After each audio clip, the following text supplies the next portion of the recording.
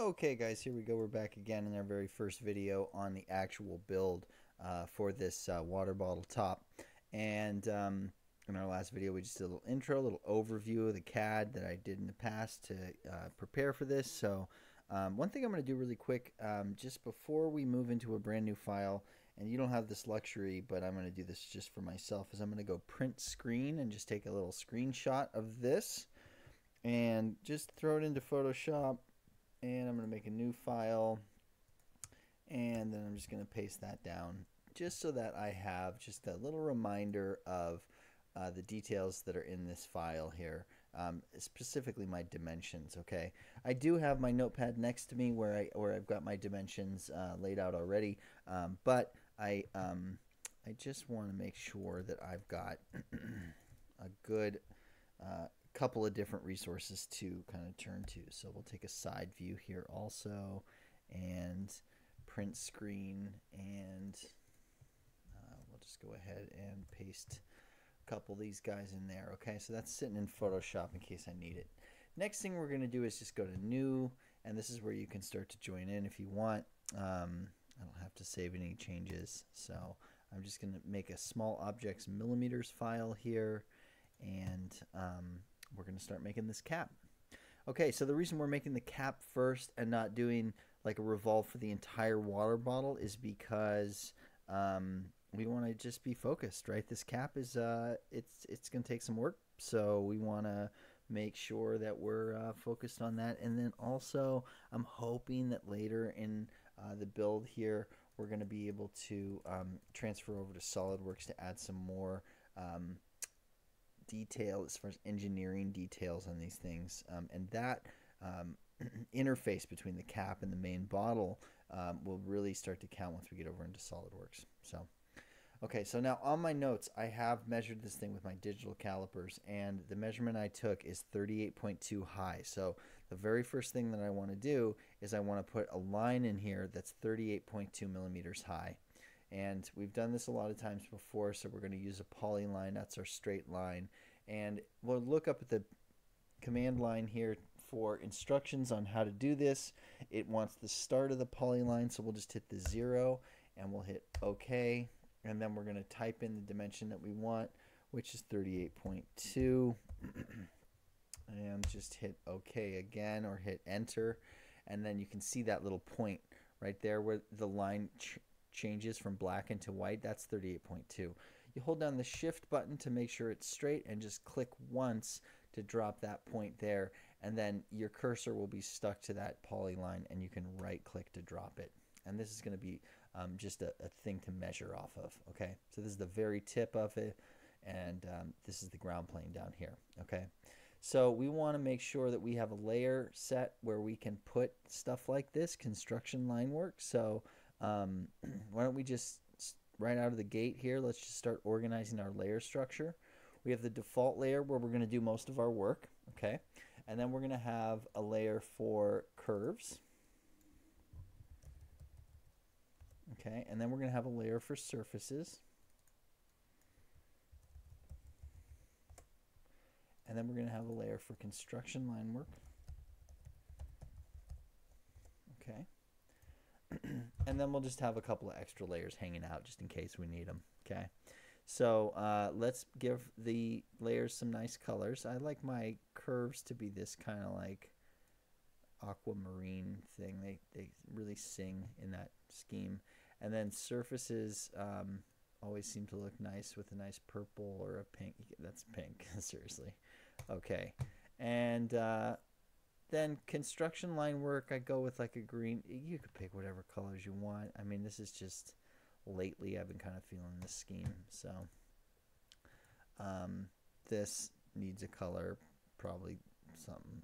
God, not salmon, but go with that. And yeah, white could work. We'll just go light gray. All right. Okay, good, good, good. Now, double click on if if this happens to you and you accidentally um, click on one of the layers more than once, it'll reset that layer to be the layer you're drawing on. You can see the little black checkbox. So just go back to default and double click on that to make that your working layer. Okay. All right, so first thing we'll do is we'll just take this construction line, we'll right click on the construction layer, and we'll put it there where it belongs. Okay, perfect. Okay, good. Now what we can do is get into the um, uh, build on this thing here, okay? And so this is where uh, Photoshop's really going to come into play, and this is kind of like where I, uh, this is kind of like what I thought was going to happen, um, is that the very top of this thing, uh, the, the bit where the water would come out is um, one of the measurements that I was a little foggy on. So let's take a quickie look here. It's about 12, okay? It's about 11 and a half to 12. So why don't we just do that? We'll go back over to Rhino here, and the very first thing we're going to do is we'll probably um, just uh, go to the top view, and we'll set down a circle. Center of the circle will be at zero, and make sure that the diameter of uh, the circle is what's defined. If it happens to say radius up here, just click on diameter to set that, and then just type in, um, let's just go with like a 12, okay? There we go. All right, now at this point what we can do is we can uh, drag this thing up until it snaps onto the top of our guide curve, okay? So we want to have object snap on, and we want to have endpoint chosen like that.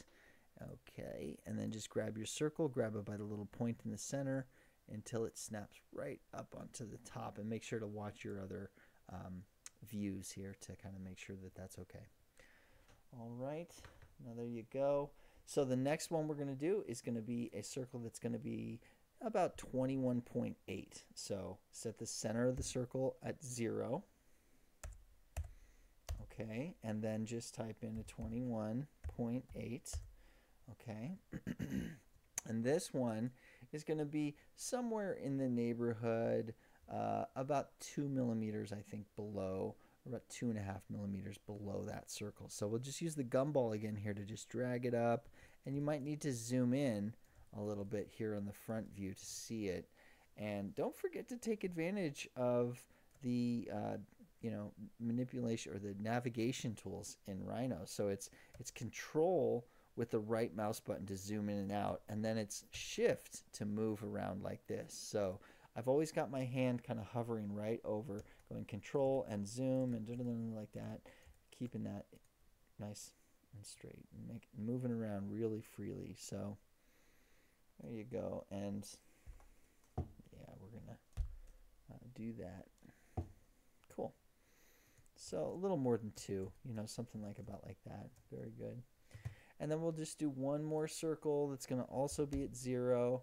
And um, notice what I did there. I just hover my mouse over the top view and Rhino will recognize, okay, you want to draw there. So um, then I can just set a zero and um, type in the next dimension, which is um, just about 17. I have 17.18. You can go with um, whatever you want. Why don't we call it 17.2?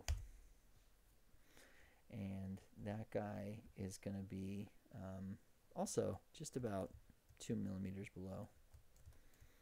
So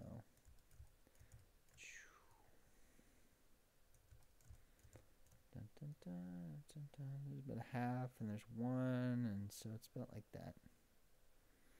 Actually, going to choke up on that a little bit because I'm just looking at the actual model here, and I'm thinking, yeah, yeah, it's a little bit better like that. Okay, cool. Uh, next thing, we'll just uh, we're gonna do another one, and um, it's gonna be just about the same size, so we can just do a control and a paste, and uh, we'll just go down a little bit. Um, we'll probably go over to Photoshop and just take a look. How much down? What did I do before in my model? If we go to the side view here, you can see here it's about one, two, three, four, five, about five down. So we'll go over to Rhino and we'll just pull this thing five down. So there's three and there's about four and five, something like that. And then I just want to make this circle a little bit bigger. So we're going to do that with the gumball. Okay, I'm going to just go here to my red box, this red box on the gumball. Hold down shift so that we can do a uniform scale. And we're just going to pull that out just a little bit. Make it a little bit bigger. Okay. This is just a concept so we don't have to be too crazy about it. So there's that. Okay. Very good. Next thing we're going to do here, we'll get another circle. They just keep coming, you know? All right. Um, this one's going to be uh, 24.36. So set the zero point and type in 24.36 and uh, go down here and pull this thing up. So there's a gap in between the previous one and this one. It's it's a really slight gap, and I mean it's probably only two millimeters or so. I think actually this is looking pretty good right there. Look at if I go back to my Photoshop file and we just look at that, um, the gap between the two, it plays out to being like about three between the two. But for you know for for this rebuild here, I'm thinking we'll make it more like a two. There you go, perfect. Okay, and so um, this is called you know we're we're manually building the wireframe for this right now. So um, this is uh, called building the skeleton or anything like that. We're going to keep it going here. We've got a 25.7 millimeter circle to draw next. So we'll just hit the zero and um, hit OK and then type in 25.7. Round up if you want to. And uh, this one here, there you go. This one here, just checking needs to be uh, somewhere in the neighborhood of five millimeters down from here. So there's one, two, three, four. Yeah, so about like that is about right. A little bit more. Okay. And what's going to happen if you're sitting there and you're going, ah, you know, this is really annoying trying to set these all up in the right area. These are, like I said in the previous video, these are going to be the backbone of our build. So we're going to set some surfaces up to these guide curves here, these construction curves, and we'll be able to build and rebuild um, surfaces off of these as needed. So um, if some of these are not in the right position and need to be tweaked a little bit, we can always go back and do that. We'll just um, make sure to not lose these. So that's that. Okay. Everything's moving right along now. We're going to get down onto uh, the main kind of uh, diameter. So um, what I want to do is make a circle that's somewhere about, I'm going to call it like 63 millimeters, okay? I'm just kind of guessing there because I'm looking at my notes and I've got a chamfered edge in uh, my notes and I ended up with the build, this chamfered edge here. See, I took measurements off the top chamfer and bottom chamfer and um, yeah, C63 is what I decided on finally. So even without even looking at this, I eyeballed it again. 63 millimeters is the right number. And then we'll add this chamfer using um, the chamfer tool. So we have that in our quiver. So uh, grab a circle, type a zero, hit enter, type 63. There you go. All right. Now we're going to just pull this thing up till we get to um, a right area. There's a gap in between the previous and the, the one there. Let's take a look at what size it is. Go to our side view. And so we're going from here down to there. You know, you got two, you got three, four, it's about five. Okay, so over to Rhino. And let's just take a look here. We got about one, two, three, four, five. Yeah, something like that. Close enough. Okay, feeling good. Next up is going to be the final curve in the lineup, and that one is uh, that's a big old 68.7 millimeters. So same technique as before. Circle tool, hit a zero, 68.7. All right, and that went wrong. Look at that. So somehow that thing got put in uh, vertical like that. So we'll just use the gumball. I'm just going to click on it like this. I'm going to click on one of the rotation bars for the gumball. I'm going to type in 90. Okay. And there you go. And then I just want to go here to my side view to make sure that's sitting pretty right there. Okay. Okay. Now, I want to just double check this because I've got quite a few millimeters between here and here. So let's just let's just look at that really quick. This is 10, okay, because every one of these big blocks is 10. And then I got 4 up here. So I got that's 14. So compare that to our last build. we got 10, okay? And we got uh, one, two, three. So it's even it's a little smaller than our previous one. Yeah, there we go. I think that should be fine. Yeah, okay. Okay. This one might come up a little bit. Cool. All right. Now, I just noticed here as I'm kind of going around, look at my cursor. My cursor is set as a um, little target there. Um, then I casually just glanced up at the uh, property or the you know command line here, and I realized I'm in my circle tool, so I just want to hit escape to drop a tool. That's what you do to drop a tool. Okay, okay. So these are going to be um, some actual curves here. These are not construction line work. These are going to be the thing that we're going to um, be moving around and, and, and using quite a bit. So what I'm going to do is I'm going to go ahead and save all of these by selecting them like this and I'm going to put them on my curves layer. It looks like I grabbed my construction line by accident. I'll put that back where it belongs. Okay, and there you go. That's going to be that for that. Okay, good. Now, what I want to do is I'm going to start connecting these in the side view. So I'm going to actually expand my front view here. And I'm going to use a polyline for this. I'm going to go one, two, three, four, and that's it. I'm just going to do one section like that, okay? And we'll get into why in a minute. But for now, let's just do a revolve on that. So I'm not going to use my um, pop-up menu because that's my thing. I want you guys to learn where the tools are at. So um, we're going to go to standard tab, click here, and then get your revolve tool. It's right there. Alternatively, if you can't figure that out, just type in revolve up at the top. Revolve asks you to, for the curve you want to revolve and select it and then just hit enter.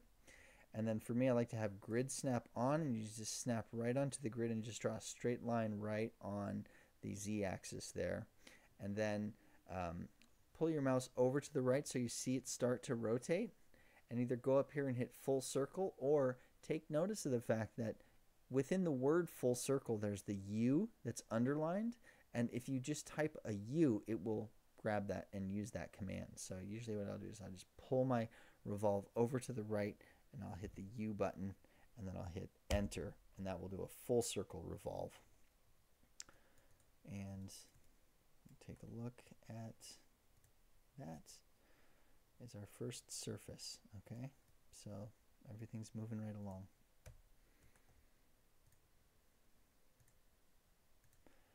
Perfect. Let's set this to rendered mode or we'll set it to shaded mode.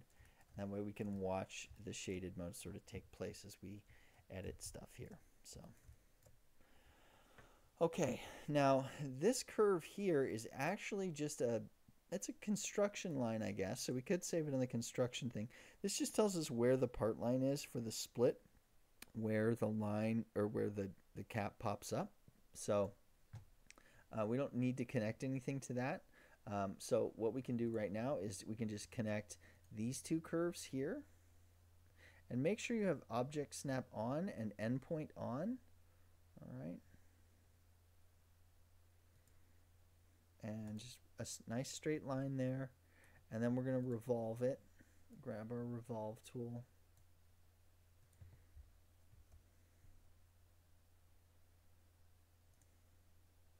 Again draw a straight line. Type the U. Okay. Put a nice circle there. Perfect. Perfect. Okay. Uh, now we've got a couple of um, actual control point curves that we want to draw and that's to get the softer edges of this thing figured out. Okay, so the first one is going to happen up here, and here's the way this one's going to go. So we're going to go ahead and turn on the control point curve with our object snap. We'll snap to the end point of that, and we're just going to go click one, two, three, and then we want to make sure to have grid snap turned on here so we can snap on the grid a few times before we hit the center part. Okay, so um, I would probably turn off ob object snap so that we can go one, two, three. Okay, We're just drawing a nice, clean, rounded edge here that's going to flatten out on top. Okay. And if you want to turn those points on again at any point, you're going to just um, go over here to this button here and hit points on. And then you can grab these points and move them around as needed if you feel like it. Okay.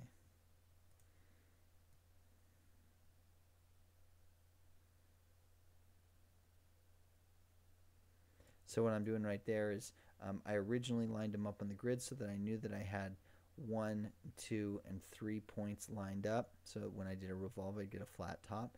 And then I just adjust the CVs a little bit afterwards um, using the gumball so that it's nice and good there.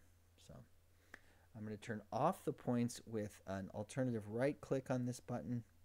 And then I'm going to do a revolve on that curve um, just like this. Okay, grid snap. There we go. Cool. That looks good. Pretty good. All right, now next up, I'm going to go ahead and use another CV curve uh, to connect these two right here. And this is one that you're going to have to eyeball. Um, follow along if you can. I'm going to just start off the curve and I'm going to snap right to the end point of this and you can see right away that I'm not snapping to anything so I got to turn on my O snaps right there and I'm going to go one.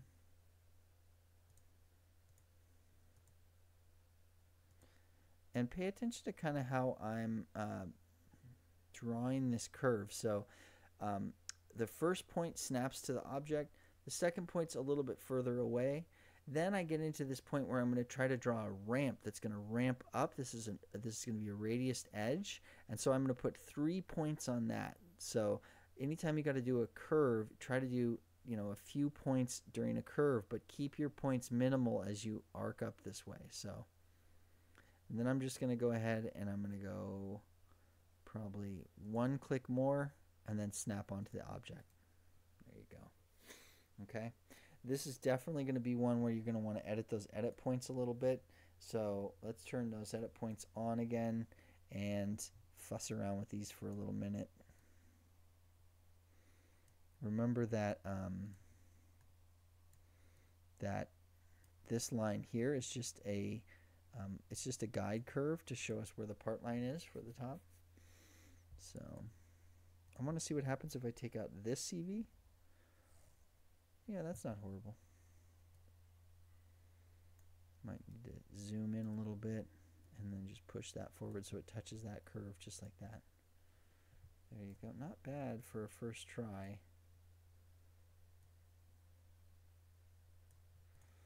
And this maneuver that I'm doing right here, where you draw a curve and then fiddle around with the CVs until it's just right, that's the kind of thing you can really burn up some time with. So I'm going to go ahead and call it just about there.